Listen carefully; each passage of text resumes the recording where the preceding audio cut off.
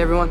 Same suit, but painted red, white, and blue. Look at that. And they also renamed him Iron Patriot, you know, just in case that the paint was too subtle. Hey guys, welcome to Obscure MCU. In this episode, I'll be covering one of the many War Machine armors in the Infinity Saga. This is the Iron Patriot Mark I. If you think this suit looks familiar, you'd be correct. This armor is actually the War Machine Mark II, but repainted in the colors of the American flag, in a joint effort between Advanced Idea Mechanics and the United States government to boost morale in light of the recent Mandarin terror threats. You'll never see me coming. Outside of the new paint job, not much from this armor differs from the War Machine Mark II.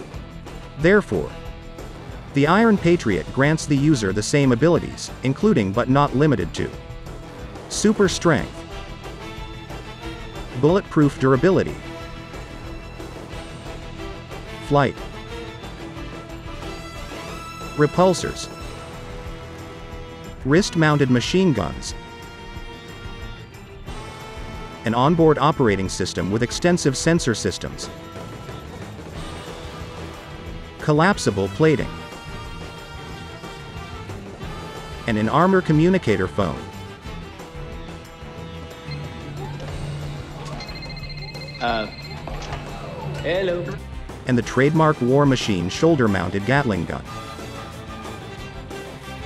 However, the suit was weak against extreme heats, and the armor's operating system would automatically eject the user when continued use under such temperatures was considered too dangerous.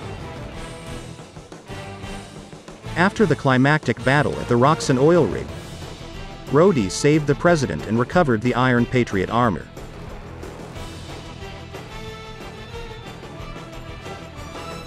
Not long after this, when Advanced Idea Mechanics was exposed as being the group behind the false Mandarin attacks, Rhodey restored the Mark II to its original colors and would later use the armor to aid the Avengers in Sokovia.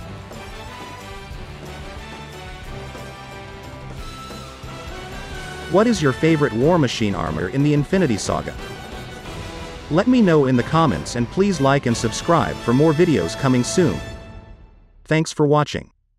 If I was building Iron Man and War Machine, It's Iron Patriot now. that's way cooler. No, it's not.